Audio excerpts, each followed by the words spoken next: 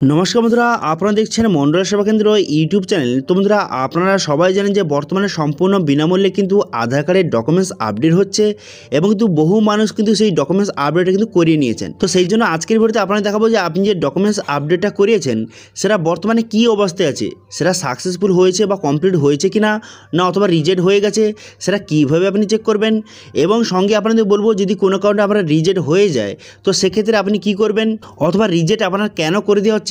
সেটা আপনাদের বলব এবং কিছু নিয়ম এবং স্টেপের কথা বলব। সেই স্টেপগুলি এবং সেই নিয়মগুলি যদি আপনি ফলো করেন, তাহলে কিন্তু আপনার কোনো দিনও রিজেক্ট কিন্তু হবে না। ঠিক আছে? আপনার কিন্তু সাকসেসফুলিভাবে কমপ্লিট কিন্তু হয়ে যাবে।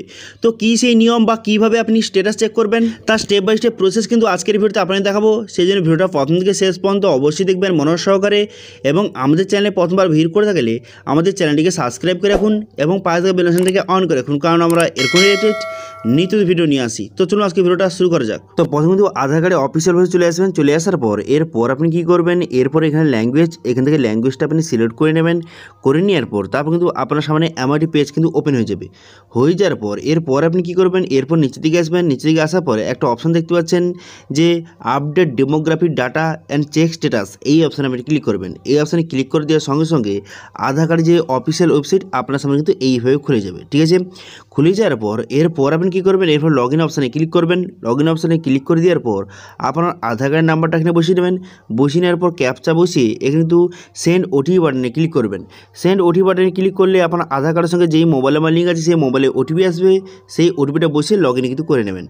লগ ইনটা একবার হয়ে যাওয়ার পর, এরপর আপনি কী করবেন? এরপর এখানে দেখতে পাচ্ছেন এখানে নিচে দিকে আসবেন। নিচে দিকে আসার পর এখানে রিকোয়েস্ট অপশানের মধ্যে এখানে যে আপনি যে ডকুমেন্টস আপডেট করেছেন, তার স্টেটাস কিন্তু এখান থেকে খুব সহজে আপনি দেখতে পারবেন। এবং যে ডকুমেন্টস আপডেট করেছেন তার স্টেটাস বর্তমানে কমপ্লিট হয়েছে কি না অথবা ভেরিফিকেশান স্টেজ অথবা পেন্ডিং হয়ে আছে কিনা কিন্তু খুব সহজেই দেখতে পারবেন। তো দেখতে পাচ্ছেন, এটা কিন্তু রিজেক্ট হয়ে গেছে। কী কারণে রিজেক্ট হয়েছে? এখানে কিন্তু পরিষ্কারভাবে লেখা রয়েছে। এখান থেকে আপনি দেখে নিতে পারবেন। তো এখানে দেখতে পাচ্ছেন ডকুমেন্টস কিন্তু ভুলভাল আপলোড ফলেই কিন্তু এই রিজেক্টটা কিন্তু হয়ে গেছে। তো সেই কারণেও কিন্তু পুনরায় আপনি যে সেখানে যে ডকুমেন্টস আপডেটটা করবেন, সেখানে যে ডকুমেন্টস আপনি যে আপলোড আপনাকে করতে হয় দুটো ডকুমেন্টস সেই দুটো ডকুমেন্টস কিন্তু সঠিকভাবে আপনাকে আপলোড কিন্তু করতে হবে। নাহলে কিন্তু এইভাবে রিজেক্ট কিন্তু হয়ে যাবে, ঠিক আছে? তো সেই জন্য কী কী ডকুমেন্টস আপলোড করবেন অথবা কীভাবে করবেন সেটা একটু আপনাদের বলে দিই। তো সেই জন্য এখানে দেখতে পাচ্ছেন যে ডকুমেন্টস আপডেট বলে একটা অপশান রয়েছে, এরা বর্তমানে সম্পূর্ণ বিনামূল্যে এই অপশানে ক্লিক করবেন। এই অপশানে ক্লিক করে দেওয়ার পর, এর কিন্তু চোদ্দ ছয় দু হাজার তেইশের পর্যন্ত কিন্তু এটা সম্পূর্ণ বিনামূল্যে হবে, ঠিক আছে? তারপর নেক্সট বাটনে ক্লিক করে দেওয়ার পর এখানে আবার সমস্ত ডিটেলসটা শো হয়ে যাবে। এরপর আপনি কী করবেন? এখানে আই ভেরিফাই এই অপশানে ক্লিক করবেন। এই অপশানে ক্লিক করে দেওয়ার পর নেক্সট বাটনে ক্লিক করবেন।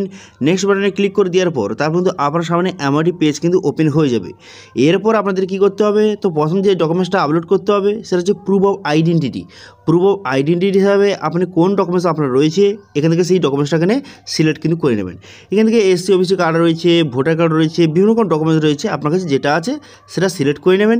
এবং যদি আপনি যেই ডকুমেন্টসটা সিলেক্ট করবেন, সেটা কিন্তু উভয় পাস আপনি কিন্তু এখান থেকে আপলোড কিন্তু করবেন। ঠিক আছে? উভয় পাস কিন্তু একটা পিডিএফে করে আপলোড কিন্তু করে দেবেন পিডিএফ ফাইলে এবার কিন্তু প্রুফ অফ অ্যাড্রেস হিসাবে আপনি একটা ডকুমেন্টস আপলোড করে নেবেন এবার প্রুফ অফ অ্যাড্রেস হিসাবে কোন ডকুমেন্টস আপনার আছে, সেটা থেকে সিলেক্ট কিন্তু করে নেবেন।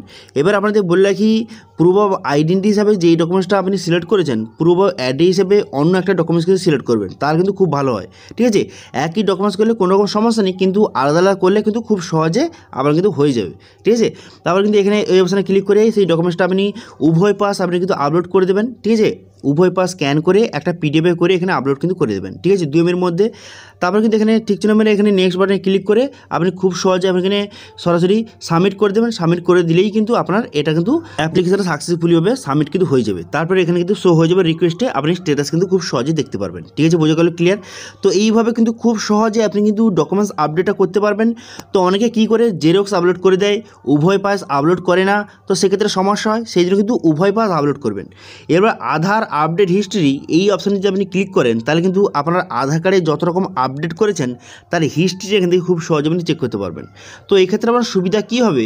তো আপনি যদি ডকুমেন্টস আপডেট করে থাকেন অথবা অন্য কোনো আপনার আপডেট হয়ে যায়, এখান থেকে আপনি খুব সহজে তার ডিটেলস কিন্তু চেক করতে পারবেন।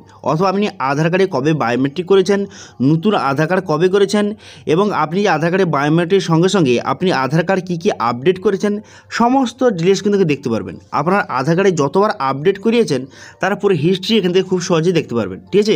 এবং কী আপডেট করেছেন সেটা কিন্তু লেখা থাকবে। এক্ষেত্রে আপনার অনেকটা কিন্তু সুবিধা হবে, ঠিক আছে? তো সেই জন্য বর্তমানে যে ডকুমেন্টস আপডেটটা হচ্ছে সম্পূর্ণ বিনামূল্যে, আপনারা কিন্তু সম্পূর্ণ বিনামূল্যে ডকুমেন্টস আপডেটটা করিয়ে নিন, যারা যারা করেননি এবং যারা বর্তমানে কিন্তু রিজেক্ট হয়ে গেছে, তারা কিন্তু পুনরায় ডকুমেন্টস আপডেটটা করিয়ে নিন, এবং কিন্তু ডকুমেন্টস যে আপলোড করবেন, সেটা কিন্তু সঠিকভাবে আপনাকে আপলোড করতে হবে, তবেই কিন্তু হবে। এবং আপনাদের আরেকটা কথা বলে রাখি, সেখানে যে ডকুমেন্টস আপনি আপলোড করবেন, যে প্রুফ অফ আইডেন্টিটি এবং প্রুফ অফ অ্যাড্রেস হিসেবে যেই ডকুমেন্টসটা আপলোড করবেন সেই ডকুমেন্টসের সমস্ত ডিটেলস যেন আধার কার্ডের ডকুমেন্টসের সঙ্গে ম্যাচ খায়। তবেই কিন্তু হবে।